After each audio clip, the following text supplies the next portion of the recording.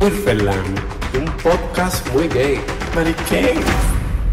Hola, si no sabes, mi nombre es Wilson Paulino y junto a Fernando Acevedo, quien es mi pareja desde hace 11 años y un acompañante, quien hoy es Sergia Elena de Seliman, conversamos cada semana de temas serios y muchas veces no tan serios con la simple idea de entretenerte y educarte al mismo tiempo. Sí, eso es posible. Sí, eso es posible. Sergia Elena es una candidata a la vicepresidencia dominicana por el Partido Reformista Social Cristiano y la Fuerza del Pueblo. Ha tenido una carrera como política a nivel nacional e internacional dentro del PRCC y también ha tenido una carrera como comunicadora en la emisora de radio Z101 y diversos programas de televisión. Hola, Sergia. Hola, Sergia. ¿cómo, están, Wilson? ¿Cómo está Fernando? Que primero, déjenme darle las gracias por permitirme conversar con ustedes aquí hoy. Eh, gracias a usted por la oportunidad también. Eh, yo, bueno, ya hice su introducción y la primera vez que hablamos yo le dije que no quería eh, inicialmente hacer la pregunta típica de, cómo inició la política o de, o de cualquier ese tipo de temas, sino que quería entrar de lleno e inmediatamente a los temas que me llaman mucho la atención. Claro. Y uno de ellos no es, no es necesariamente de la comunidad LGBT, que los trataremos más adelante, pero sí es uno de algo que estuvo en la palestra hace, hace pocos meses, y es con respecto a las protestas eh, de la Plaza de la Bandera. Yo quería saber en general, en general, qué opinión le merecen esas protestas eh, de los jóvenes. Yo creo que uno de los eventos políticos, porque eso fue un evento político, eh, más importante que han sucedido en la República Dominicana en las últimas décadas es, fue esa fue esa protesta que llevaron a cabo los jóvenes en la Plaza de la Bandera, porque tradicionalmente tenemos una juventud eh, no muy activa ni muy ni que se muestra muy interesada en los asuntos políticos en el país. Sin embargo, cuando vio en peligro esa juventud, cuando vio un atentado en contra de la democracia, ¿verdad? De, de nuestro sistema democrático, esa juventud se levantó.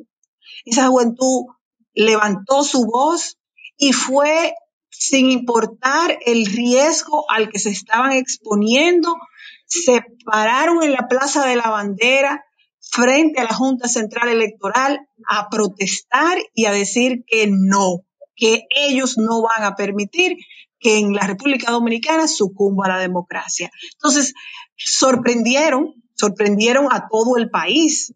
Eh, fue algo que se vio no solamente en la República Dominicana, sino que se vio en el mundo, pero demostró el coraje, eh, la valentía de, la, de la juventud dominicana, por lo que eso tiene que llenarnos de esperanza como dirían en, en, en, en, casa de mi abuelita, en buena, en, en, en buen ¿cómo que dice? Está el, el, el pandero, en buenas manos está el pandero, porque ustedes, los jóvenes, son los responsables de, de, de continuar nuestra república, de continuar, eh, de, los que deben defender nuestras libertades, porque ya los que estamos un poquito más adultos que ustedes, vamos de paso, ¿verdad?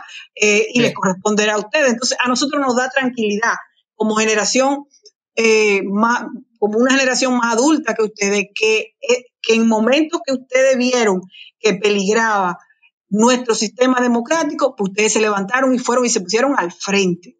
Yo los felicito, felicito a esa juventud y los exhorto a que continúen, que no sea, que no solamente sea algo ocasional por una situación, sino que se, se, empoderen como, como tanto, eh, esa palabrita es muy usada, ¿verdad? Bueno, vamos a empoderarnos, eh, tenemos derechos, tenemos deberes, no, que, que, lo, que lo continúen haciendo, porque que continúen accionando, porque se sintió, se sintió y lograron, miren, yo les voy a decir algo, si aquí se celebraron elecciones en marzo, si aquí las elecciones se celebraron en marzo, fue por esa acción que ustedes tomaron en la Plaza de la Bandera. Aquí no se quería celebrar elecciones en marzo, aquí esto lo querían dejar para mayo y que se celebraran las elecciones juntas.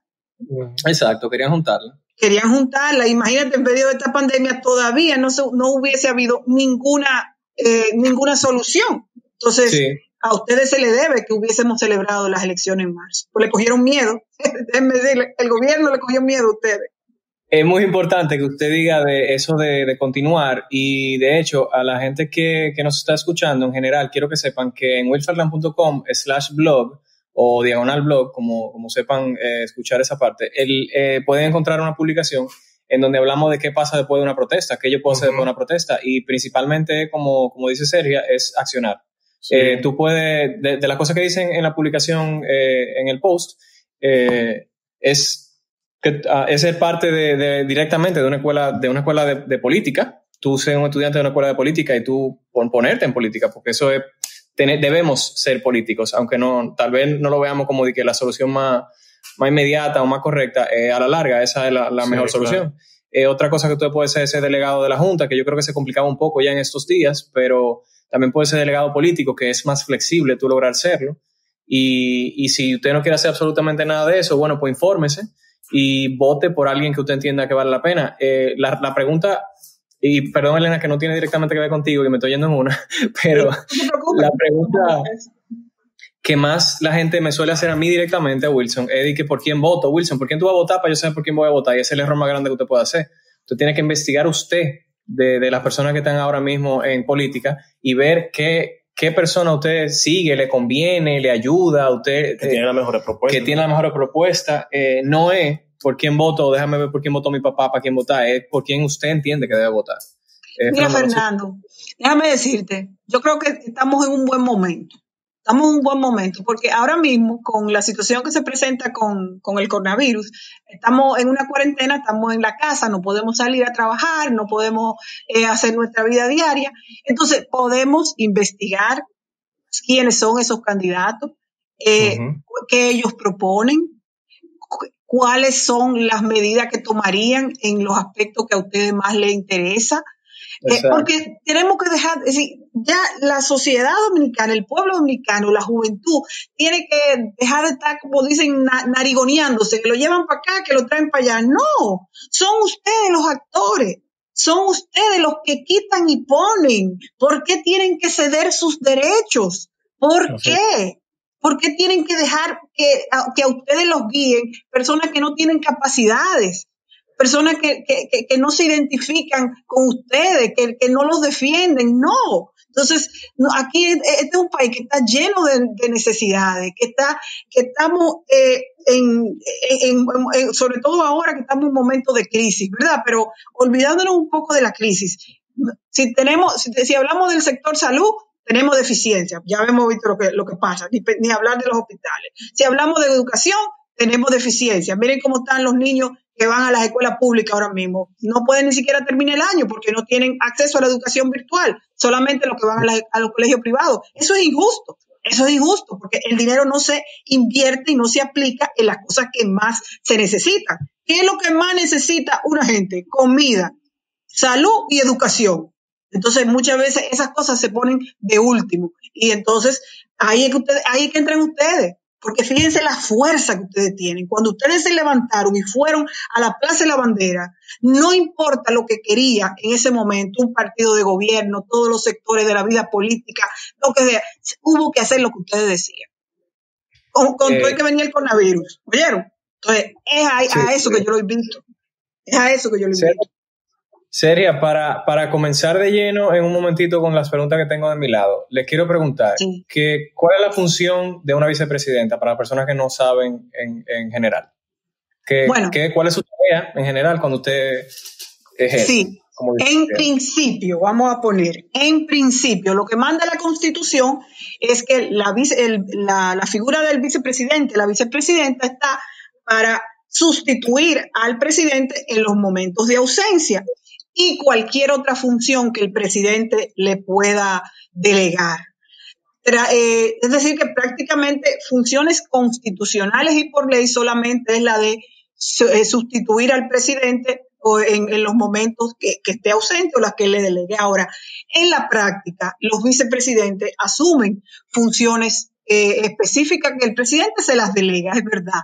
En, en, los últimos años vemos que los vicepresidentes últimos que hemos tenido se han ocupado de, la, de manejar las políticas sociales del, gobierno. Eh, recuerdo cuando fue doña Milagro Ortiz Bosch vicepresidenta, que fue ministra de Educación. Recuerdo cuando los gobiernos de Balaguer, que el ingeniero Carlos Morales Troncoso fue vicepresidente, trabajó, eh, manejaba la política exterior, era además canciller. Entonces, eso va a depender mucho del presidente, pero también de las capacidades de la vicepresidenta y de y lo que pueden ser mis, mis aspiraciones, que yo las tendré que discutir con el presidente Fernández, ¿verdad? Eh, pero sí tengo mucho interés en trabajar por, por, sobre todo por, por, los niños, por el tema de la mujer, de la juventud.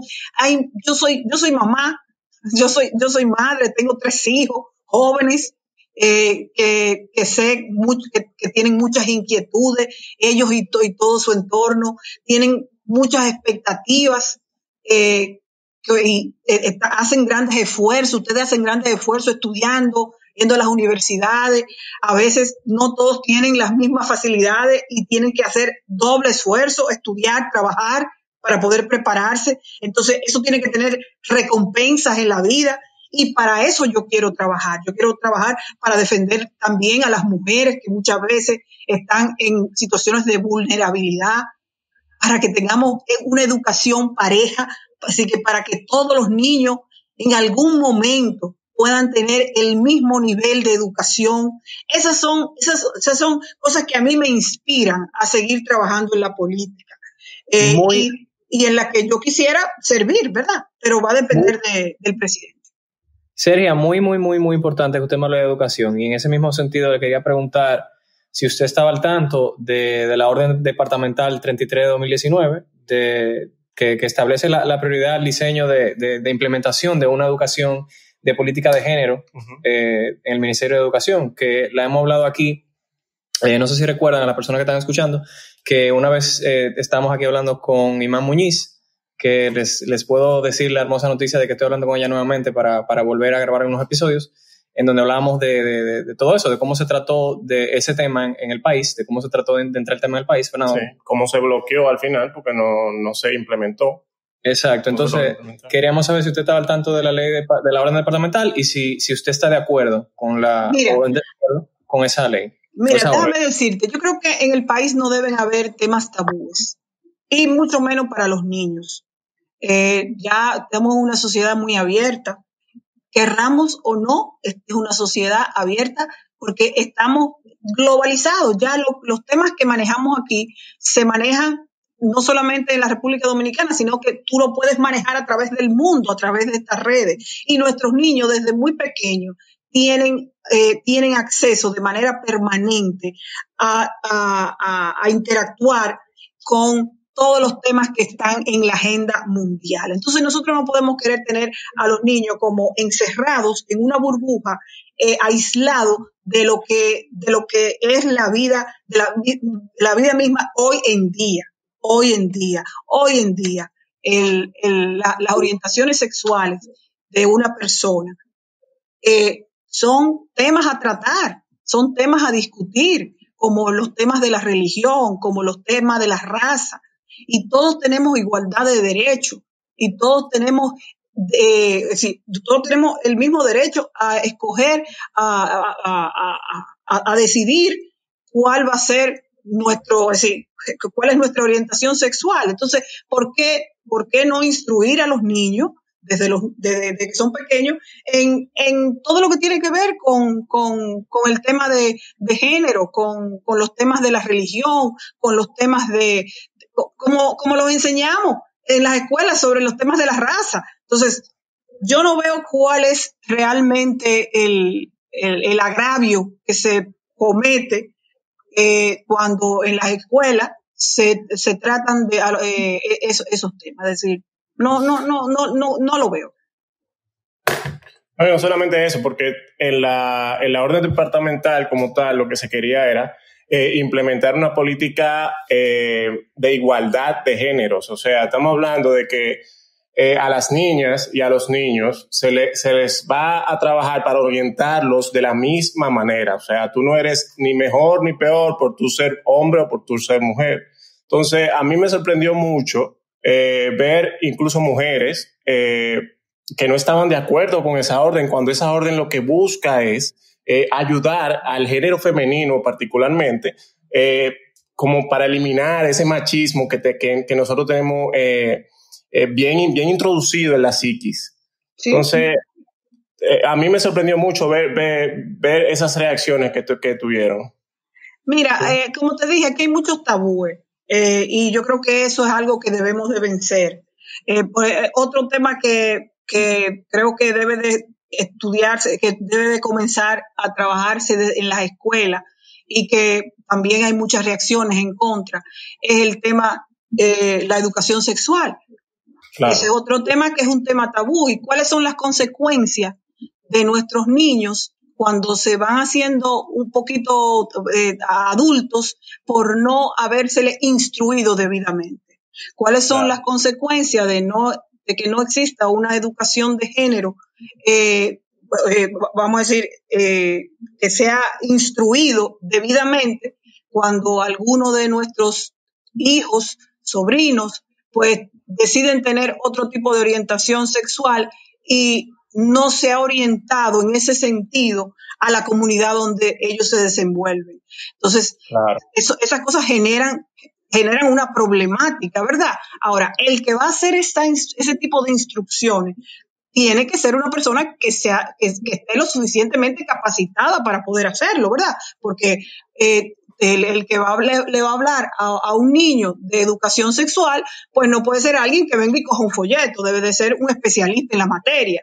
Y lo mismo cuando tú vas a hablar de lo que tiene que ver con, las emociones de las personas. Con, entonces, yo no veo cuál es la, resistencia a que esos temas se, se, se comiencen a discutirse desde temprana edad. Eso no significa que lo estamos orientando para que sean de tal o cual eh, género. No, cada cual nace eh, y crece con, su propia naturaleza. Es decir, que porque tú les enseñas en qué consiste, tú no le vas a estar cambiando su, su, su concepto, ¿verdad? Eh, entonces, no, nunca, no, no le, no, no, no le, no le veo, no le veo lo malo a que, a que eso, esas discusiones, a que esos temas se traten desde la escuela.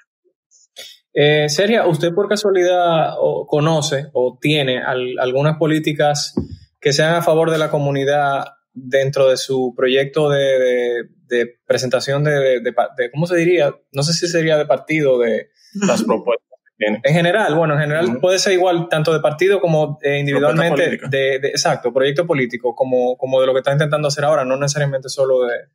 Del, mira, mira Wilson, yo tradicionalmente eh, siempre he trabajado, tratado de que todas las políticas, todas mis propuestas sean en procura de la igualdad, de la equidad, de que todos tengamos los mismos derechos, que a todos se nos respeten, eh, tengamos nuestras las mismas libertades, que a todos se nos respeten. Y todo lo que pueda ser mi accionar desde la vicepresidencia de la República o la posición que me ocupe, que me toque ocupar en cualquier momento, siempre va a estar en procura de defender al ser humano, al ser humano. No importa, puede ser, yo no voy a defender más a una mujer que a un hombre, ni aún más a un heterosexual que a una persona de la comunidad gay ni a una persona de raza negra eh, por encima de una persona de raza blanca. No, yo trabajo y, procuro poder aportar a, hacer que el ser humano sea cada vez más libre y cada vez más respetado, porque yo tengo hijos, yo tengo tres hijos ya que son adultos y yo pudo ser, puede ser, la, me puedo ver en la situación de que uno de mis hijos no sea heterosexual, entonces yo voy a, voy a trabajar para que a uno de mis hijos se le discrimine. No, este no es el caso, pero es el caso de otros. No, voy, voy a, a crearle tabúes y voy a trabajar para crear tabúes en la sociedad en contra de los que no comparten mi religión. No, porque tampoco quiero que lo hagan conmigo. Entonces, yo creo que todos debemos de hacer un compromiso de trabajar por el ser humano, hombre, mujer, gay, heterosexual, católico, ateo, no importa. Vamos, vamos a trabajar para que seamos mejores seres humanos, para que tengamos una mejor sociedad, para que tengamos personas más educadas, para que tengamos personas con más sensibilidad y que, y que, que entiendan cada día la necesidad mayor de ayudar al prójimo. E, esa soy yo, no te puedo decir que en estos momentos tengo un proyecto para e, en, esa materia. Ahora, no me niego eh, a que si en algún momento discutimos algunas inquietudes, ya sea del, sector que ustedes representan o otros jóvenes o personas o mujeres, pues lo podemos discutir y podría yo comprometerme con, cualquiera de esas iniciativas. Aunque yo no soy legisladora, ya yo te lo decía en una conversación que tuvimos, yo lo que eh, voy es a la vicepresidencia de la República, pero nunca en mi accionar estará ir en contra de las libertades individuales de cada quien. ¿Y por qué? ¿Y quién soy yo para hacer eso? exacto. Y qué, bueno que eso es lo que hablamos. Pero algo muy importante que, quiero que tengamos en cuenta todos, eh, tanto usted, Sergio, como las personas que nos están escuchando, que algo por lo que, eh, como es un tema que se, que se trata mucho y, que yo he escuchado mucha gente decir algo parecido a lo que usted dice, Sergio, de que por qué eh, no hablamos de, de todos y no solamente de la comunidad el problema es que ahora mismo la comunidad no tiene los mismos derechos que todos. Entonces, por eso nosotros tenemos que, de nuestro lado, hablar en ese sentido y, exigir cosas muy específicas o básicas, como, como que, que el, matrimonio, el, los crímenes de odio, el que no nos voten del trabajo por ser gay, el que no nos voten de un apartamento por ser gay, que son cosas que a, un cierto nivel u otro, la mayoría de la comunidad ya ha vivido. Y es muy importante, y es por lo que les digo, que, por ejemplo, entren al, blog y vean qué hacer, porque eh, quien lo tiene que exigir internamente somos nosotros mismos. O sea, lamentablemente eh, es muy difícil porque la mayoría de la gente ve la política en general, la ven como, como, la, como robar, como no, que todos los políticos son malos, todos los políticos son ladrones, y no es el caso, y sobre todo no será el caso si usted se mete en política, si usted es parte del cambio interno, o sea, de manera interna, accionando desde dentro. Eh, y, hablando en ese mismo sentido de, cómo la gente ve la política, eh, Sergio, eh, le quiero preguntar, ¿usted cree que existe impunidad en República Dominicana? bueno, yo creo que lo que está a la vista no necesita espejuelo, ¿verdad? Aquí, realmente hay ley, pero ley para los más chiquitos, para los más débiles. la ley para los que tienen influencia, para los que tienen poder, esa no se aplica. Y esas son las cosas en las que tenemos que trabajar. Mira, yo soy diputada en el Parlacén, en el Parlamento Centroamericano, y me, corresponde eh, viajar todos los meses a los países de Centroamérica, en donde se han establecido, ¿sabes? que en Centroamérica, al igual que nosotros, hay muy, altos niveles de corrupción. Y se han establecido algunos programas en que ya prácticamente han tenido que echarlo a un lado, porque estaban eh, presidente que llegaba, presidente que estaba preso, presidente, vicepresidente, ministro, eh, diputados, senadores, todo el mundo, porque es como algo que, se estaba generalizando. Eh, pero sí han hecho grandes esfuerzos y yo les decía a mis compañeros de otros países en el Parlacén que se quejaban, ya tienen una cacería en contra de nosotros, los políticos, eh, y esos son los gringos, los, de la comunidad europea que está atrás de nosotros. digo, no, no, detrás de nosotros no hay nadie, detrás de nosotros estamos nosotros mismos haciendo lo que no debemos de hacer. Tomando, tomando como, como, como bueno y válido el uso de los recursos de otros para nosotros priorizando, eh, priorizando muchas veces obras que no son importantes para la comunidad, para el país, porque me deje dos o tres pesos y dejando a un lado las que realmente se necesitan. Entonces, eso, ¿cuál es la, cuál es la consecuencia mayor de la impunidad? El, el subdesarrollo en el que vivimos porque como no hay un orden de, como no hay un orden de consecuencia, aquí no se, no se, en ningún momento se, se rinde cuentas de lo que yo hago con el dinero ajeno, que es el dinero que manejan los funcionarios, pues a lo que nada nos cuesta, hagámosle fiesta. Entonces, no, no se prioriza la educación, porque posiblemente eh, invertir en educación no le deja tantos beneficios al gobierno o a los que manejan el gobierno. Invertir en salud tampoco. Entonces vamos a, vamos a mira, vamos a abrir trocha, que ah, si trocha es abrir camino vecinal, es verdad, tirar asfalto, aunque, aunque no se necesite, porque eso nos deja mucho dinero. Entonces, ¿cuál, ¿por qué hacen eso? Porque no hay consecuencias por lo que hacen, por los niveles de impunidad que se manejan en nuestros países. Y es ahí donde ustedes tienen que levantarse. Y es ahí donde ustedes tienen que levantar su voz para que el que, que se quiera meter en política es porque quiere servir, no porque quiera servirse. Porque sepa que si hace lo mal hecho, ahí están ustedes para, para pedirle cuentas. Pero eso no se va a lograr de manera, eh, eso, eso no se va a lograr de manera automática. Y se necesita un compromiso de país. Se necesita un empoderamiento de los sectores, sobre todo de la juventud. Que cuando ustedes vean que alguien está actuando en contra de los intereses que ustedes que representan, porque, óiganme, el dinero que maneja el Estado es porque nosotros, lo, porque ustedes y nosotros lo, lo, pagamos de impuestos. Ustedes lo sabían, ¿verdad?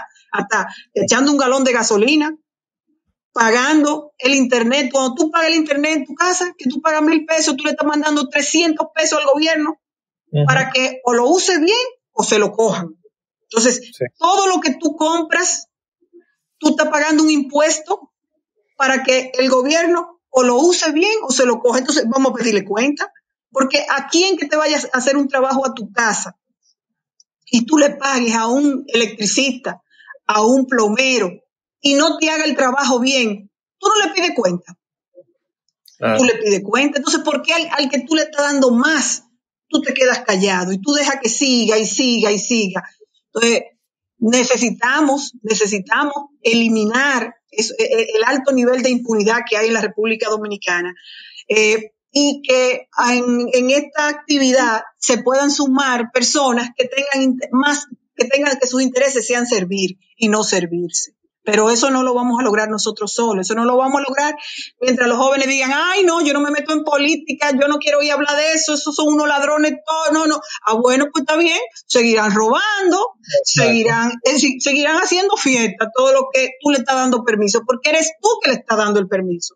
No son ellos que se lo están tomando. Eres tú. Con tú ir el, el, el 5 de julio y echar el voto en contra del que lo hace mal o lo ha hecho mal, ya ese está, ya ese está fuera.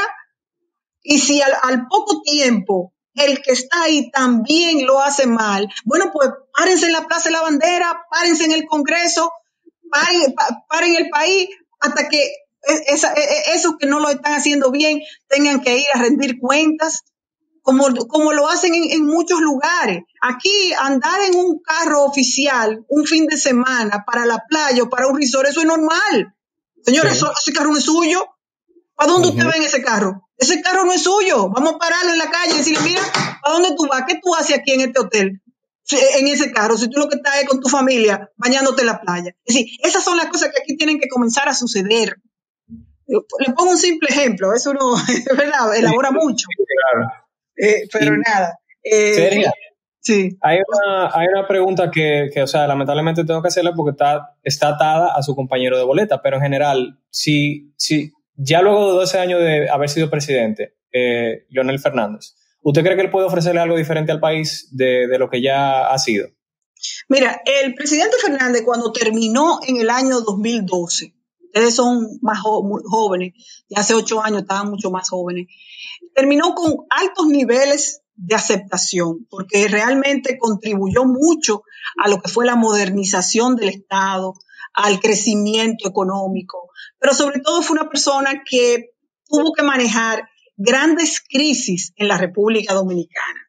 En el 2004, esa parte ustedes no la van a poder recordar, eh, en el año 2004 aquí hubo una crisis bancaria en que quebraron muchos bancos en la República Dominicana. Le agradezco mucho que usted crea que yo soy tan joven. ah, bueno, yo lo estoy tomando. I take it for granted que tú, estás, que tú eres jovencito. Mira, y en esa crisis bancaria, aquí los dólares, que hoy están en el 55, y producto de esta situación que estamos viviendo, en ese momento, en el año 2004, estaban al 60 por 1. Subieron del 25 al 60 por aquella crisis que hubo. Se paralizó todo y el país salió a gritos a pedir que el presidente Leonel Fernández, que había sido presidente del 96 al 2000, eh, ganara las elecciones. Las ganó. Y en seis o siete meses ya nosotros teníamos el país ya, el país estaba estabilizado y la prima del dólar había bajado a entre 25 y 30, 30 por uno. Entonces, es un hombre que ha manejado crisis. En el año 2008, cuando aquella crisis eh, financiera global, ¿verdad? Mundial, sobre todo en, Estados Unidos, en Europa, en que quebraron los bancos del sector financiero, cayeron las bolsas. Bueno, ahí el mundo entró en recesión y fueron momentos muy difíciles para muchos países en el mundo. La República Dominicana, sin embargo, pudo sortearla y salir rápido, eh, no, no verse tan afectada y, y continuar con sus niveles de crecimiento gracias al manejo eh, eficiente del presidente Leonel Fernández. También durante muchos años de su gobierno, él estuvo, tuvo que enfrentar las alzas en los precios del, combustible, de la gasolina, del petróleo. Y sin embargo, aquí pudimos mantener, que siendo nosotros tan dependientes de, las importaciones de petróleo, eh, pudimos mantener buenos niveles de estabilidad y de crecimiento. Entonces, él es una persona que eh, su experiencia, no solamente de gobierno, sino en, en, manejo de crisis, en estos momentos, se hace necesaria. No sé si ustedes han podido ver durante los últimos días sus comparecencias ante los medios de comunicación, eh, en analizando la problemática que estamos viviendo, haciendo sugerencias eh, y eh, analizando lo que hay que hacer a partir de esto. Porque si hoy tenemos un problema grande con el problema de salud, más grande es el que viene con el problema económico. Eso se van a acordar de mí. No, eso lo sabemos. Es una papa caliente que, que viene por ahí. Estamos, estamos, estamos le estamos dando seguimiento, le estamos dando seguimiento. Sí. Eh, Fernando, eh, vamos a tomar una pausa. ¿Y por qué tú crees que la vamos a tomar? Porque necesitamos dinero. Porque necesitamos dinero. Venimos a...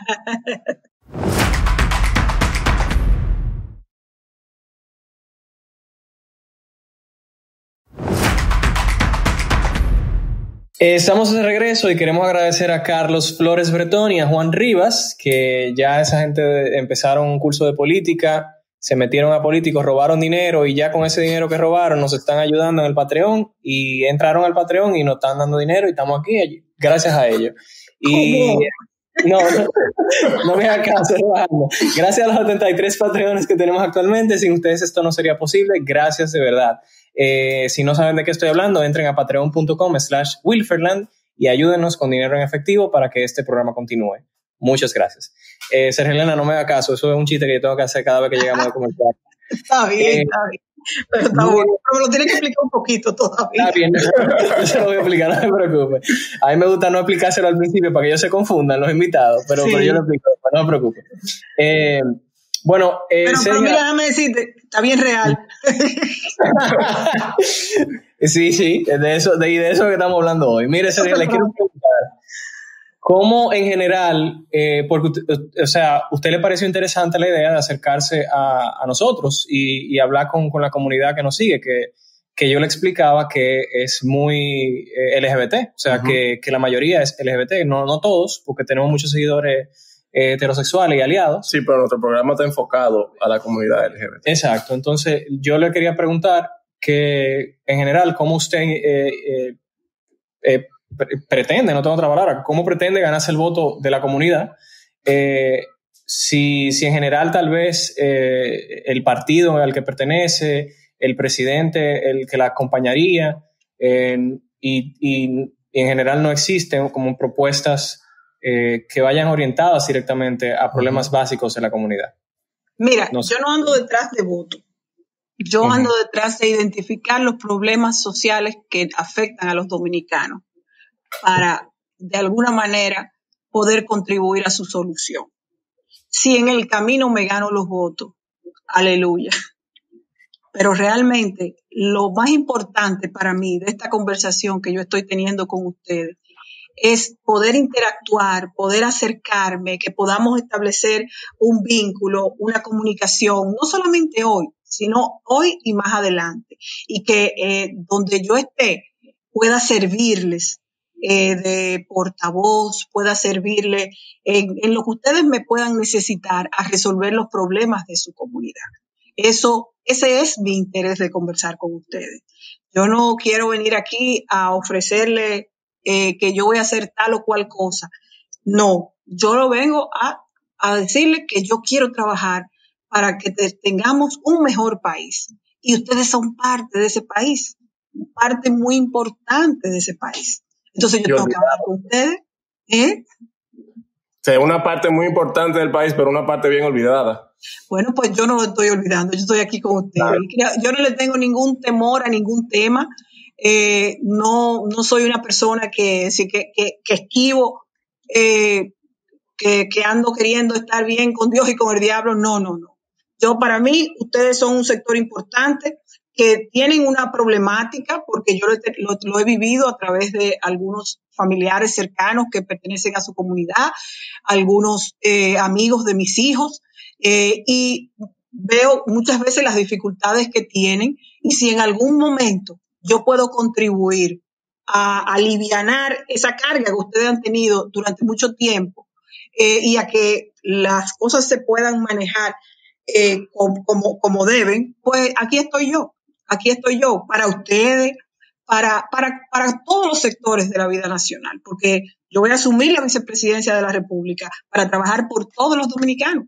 Entonces, no pueden haber excepciones. Y mucho menos ustedes, donde hay tanta gente buena, tanta gente que yo quiero, tanta gente que yo sé que merece, que merecen y que necesitan ser felices. Y que otros, por, situaciones que a veces no entiendo, le, le crean dificultades. Entonces, para eso yo estoy aquí. Yo no estoy aquí para contar votos. Yo estoy para conversar con ustedes y decirles que desde donde quiera que yo esté, siempre voy a querer ayudar y colaborar con su causa.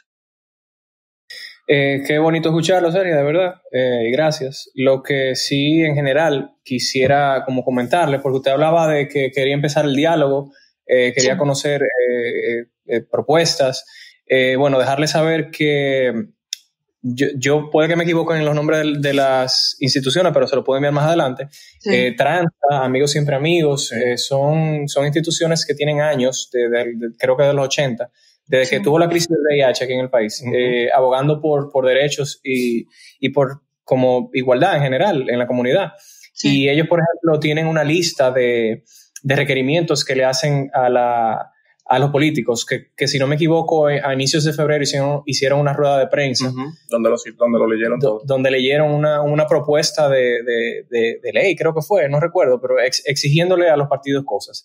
Y en general, como para que tenga una idea también, tanto usted como eh, las personas que yo sé que también van a escucharnos de, eh, desde cero, gracias a usted, que tal vez quieren seguir su trabajo o, o que usted le mande el link a alguien o que le llegue en sus redes sociales, eh, en general para que sepan, eh, los intereses de los homosexuales, eh, por ejemplo, como yo, son tan, tan, tan básicos y, y, lo minimizo, y lo minimizo porque, porque pues somos así, somos, somos animales que, que tendemos a minimizar los problemas de nosotros. Son tan básicos como que yo exijo matrimonio con mi pareja que yo tengo 11 años es una cosa tan simple como que yo no quiero tener que estar haciendo pasos extra y llenando formularios adicionales para tener el mismo seguro médico o para que mi empleo le permita a él ser parte de mi seguro médico de una manera más sencilla. Por ejemplo, eh, hay personas que tienen problemas muchísimo más grandes todavía, que, que, son cosas como... Eh, su identidad, que le niegan su identidad. Que cuando van a, sacar la cédula, eh, ellos siendo mujer no pueden porque ellos en su acta de nacimiento, perdón, ellas en sus actas de nacimiento dice hombre. Eh, o personas que no pueden cambiar su, su nombre eh, legal, legalmente, eh, por las complicaciones generales que existen con ese proceso. también a, ellos exigen, por ejemplo, la ley de una, de una, algo que los proteja con una ley de no discriminación, porque existen, que, que, creo que también debería existir para los feminicidios, no sé si existe, que, que es como crímenes especiales ¿cómo se llama cuando tú cometes un crimen? Eh, no, no, digo, eh, cuando te ponen una sentencia, como eh, que sean especiales o más fuertes para cuando son crímenes de odio, ya sea por feminicidio, por transfobia, homofobia o... Sí, las condenas, que las condenas sean. Las condenas, esa es la palabra. Y son cosas tan básicas como nosotros tenemos amigos que ni siquiera fueron a votar las elecciones pasadas para no lidiar con el hecho de que ellas son mujeres y en la cédula dice que son hombres. Entonces, solamente para evitar eh, esos conflictos. Entonces, no, la ley no le permite cambiar el, género en la cédula cuando... cuando y, y, pasa lo mismo con el nombre. Eh, eh, es, muy, es muy triste, porque hemos tenido incluso invitados aquí. Es muy triste cuando, cuando una invitada o un invitado de los que han venido nos dicen que se sienten hasta mal cuando un familiar no quiere decirle el nombre por el que se identifican, el nombre real que ellos tienen. Que, que, antes yo me llamaba Pedro, perfecto, pero yo ahora me llamo María. Y, y, yo vivo como mujer porque yo soy mujer. Y cuando tú vas a votar, cuando tú vas a, una, a un padrón electoral que, que, te llaman en voz alta delante de todo el mundo por un nombre que no te representa, que, con el que tú no te sientes cómodo, con el que no eres tú, mm. eh, eh, eh, eso invalidando que tú estás la, la, identidad de un ser humano. Y, no, y no se siente heavy. Y, y, en ese mismo sentido, que, que, creo que lo mencioné al principio, eso de que, eh, que, que tú tengas miedo a tú decirle a una persona que tú vayas a alquilarle un apartamento con tu dinero, a tú decirle que tú vas a vivir en ese apartamento con tu novio eh, o con tu novia si tú eres una chica, porque tú, hay gente que automáticamente tú le dices aquí van a vivir dos pájaros y ya no le alquilan el apartamento o que en un trabajo te, te, pregunten en la entrevista de trabajo que me ha pasado, ¿y cuáles son tus metas a largo plazo? Y tú no planeas casarte y tú, y como que eso no es parte del trabajo que yo voy a realizar en esta empresa, ¿por qué tú me estás preguntando eso? O sea, que tú quieras saber de mis hobbies, de, mi, de, de, que a mí me gusta fuera del trabajo, perfecto, pero esa es mi vida privada. Y, y son cosas que, que la preguntan eh, porque toman en cuenta eso también que, que, si no va con los valores de la empresa, tal vez, eh, tal vez por decir algo de que, de, que, de que, es homosexual, puede que no lo contraten y eso es ilegal porque tú estás discriminando. Y, y, y, creo que lo dicen eh, tal vez en la, en, la, en la, ley de trabajo, que tú no puedes discriminar, pero tal vez no especifica claramente eh, en base a qué, y tú no puedes ir a, a la oficina del trabajo a decir, a mí por pájaro me votaron, a mí por pájaro no me contrataron. O sea, no hay nada que, que, que avalo que cuide a uno un chin más, ya que, ya que sí existen cosas que sí nos joden un chin más, a falta de una mejor palabra. Mira, eh, es Wilson que me está hablando, o es Fernando. Sí, es Wilson. Es Wilson. Mira, Wilson, eh, yo creo que esta conversación que ustedes están teniendo conmigo hoy, si yo fuera ustedes, la tuviera con muchos políticos más. Porque no es solamente lo que yo les puedo decir, sino lo que yo debo de escuchar de ustedes. Porque yo voy a llegar a una posición de poder. Y si quiero, si quiero servir a todos, como ya te lo he dicho, tengo que saber conocer eh, eh, a fondo la problemática, como tú dices, es decir, cómo se siente una persona cuando eh, entiende que, cuando ha decidido llamarse María y era Pedro y, y, se le llama de otra forma delante de los otros. Hay que pensar en el ser humano. Entonces, pero no solo eso, cuando ustedes deciden tener una convivencia y no pueden tener los mismos derechos que tienen los heterosexuales a, en, el, en, el, tema de algo tan sencillo como el seguro médico. Algo tan sencillo como el seguro médico, eso, eso, eso, eso lo vivimos todos. Entonces, eh, eso, eso, esa, eso que ustedes me están explicando a mí, es bueno que ustedes lo socialicen. Y, y esa puede ser y, y, no, no, no, no crear, como dicen, trabas para eso, sino, no, mira, mira, yo quiero, yo, nosotros necesitamos que ustedes oigan esto, porque cuando hay, yo voy a todas las provincias del país a oír qué está pasando en cada una de esas provincias. Yo no soy adivina, ¿Entiendes? Es decir, si yo no voy y converso y me dicen que ahí no hay una escuela, que ahí no hay un hospital, que cuando alguien se enferma hay que montarlo en, la cama de una camioneta para llevarlo a otro municipio porque no hay una ambulancia, entonces yo no puedo llevar la solución. Entonces, lo mismo es el caso del ser humano. Entonces, esas son cosas que ustedes deben de socializarla un poco más, de manera que puedan lograr un mayor apoyo. Conmigo, como te dije, mi propósito es servir, servirle a la comunidad de ustedes, servirle a todos los que me puedan necesitar. Eh, yo no quiero ser de esas mujeres que mantienen un discurso de tal o cual forma y cuando le, cuando le llega el momento en que alguien de su familia, de sus hijos, eh, resulta que es de la comunidad gay, entonces de un momento a otro cambian y se convierten en activistas de la comunidad gay. No, no, espérate, tú, tú, tú, no tiene que ser por un asunto personal. Nosotros tenemos que vivir para todos, no cuando nos toque de cerca, porque eh, eh, no, no es porque un, un hijo mío, un sobrino, un primo le pase algo, no, es porque porque, porque, vivimos en una sociedad en donde todos tenemos que tener iguales derechos y no hay por qué, por qué discriminar. Entonces, yo lo que me gustaría es mantener la conversación con ustedes, mantener eh, los intercambios, que ustedes me den seguimiento, que ustedes hasta puedan enviarme cuáles son sus proyectos eh, y nosotros estamos trabajando en estos momentos con todo nuestro plan de gobierno, eh, ver cómo podemos insertar alguna de las inquietudes de ustedes, eh, de manera que lo podamos representar. No tengo ningún temor a confrontar sectores porque creo que, todos tienen su papel que jugar eh, y son importantes. Yo, así como te digo una cosa, te digo la otra. Yo soy católica, Tal vez no soy una católica como mi marido, que es más practicante y va todo domingo a misa. Y, bueno, yo le digo, él tú vas por ti, por, por ti, por mí. pero realmente soy, tal vez soy una católica cómoda, pero hay muchas cosas que, que la iglesia defiende con las que yo no estoy de acuerdo. Sí. Eh, y otras que sí estoy de acuerdo. ¿Entiendes? Entonces, lo mismo, hay cosas tal vez que ustedes planteen con las que yo no esté de acuerdo y otras que pueda estar de acuerdo y pueda colaborar.